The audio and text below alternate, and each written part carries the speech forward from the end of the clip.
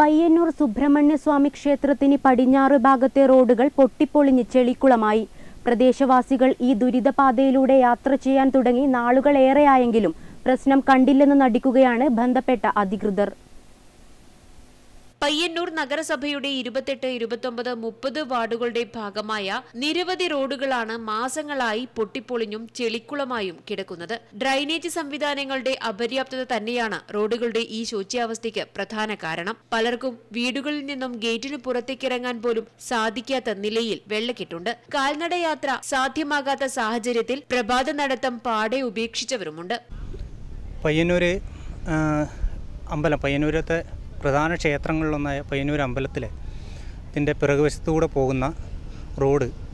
വെള്ളക്കെട്ടാൽ ആ റോഡ് എല്ലാ ഭാഗത്തു നിന്നും നമ്മൾ കേളോത്ത് ഭാഗത്തു നിന്നായാലും ബാക്കിയിലെ എല്ലാ സ്ഥലങ്ങളിൽ നിന്നായാലും വന്ന് യോജിക്കുന്ന ചേരിക്കൽ മുക്ക്. ചേരിക്കൽ മുക്ക് ഭാഗത്ത് എന്ന് പറഞ്ഞു കഴിഞ്ഞാൽ വളരെ രൂക്ഷമായ വെള്ളക്കെട്ട് ഇപ്പം അനുഭവപ്പെട്ടുകൊണ്ടിരിക്കുകയാണ് പൊതുജനങ്ങൾ വളരെയേറെ ദുരിതത്തിൽ വന്നിരിക്കുന്ന ഒരു സാഹചര്യമാണ് ഇപ്പോൾ ഉള്ളത്.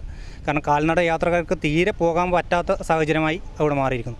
അശാസ്ത്രീയമായ രീതിയിലുള്ള റോഡ് പണി ഒന്ന് അതിനെ മെയിനായിട്ട് ബാധിക്കുന്നത് രണ്ടാമത്തേതെന്ന് പറഞ്ഞു കഴിഞ്ഞാൽ അവിടെ കൃത്യമായുള്ള ഡ്രെയിനേജ് സിസ്റ്റം ഇല്ല. ഇരുവശത്തും മതിലുകളായതോടെ വെള്ളത്തിന് ഒഴുകിപ്പോകാൻ മാർഗമില്ലാതായി. റോഡിലെ കുഴികളും പ്രശ്നം ഗുരുതരമാക്കി. P to C. Payyanur Sri Subrahmanya Swami ക്ഷേത്രത്തിന് പടിഞ്ഞാറ് ഭാഗത്തുള്ള റോഡുകൾ മിക്കതും ഇപ്പോഴും വെള്ളത്തിനടിയിലാണ്. മാസങ്ങളായി ഇവിടെ വെള്ളം കെട്ടിക്കിടക്കുകയാണ്.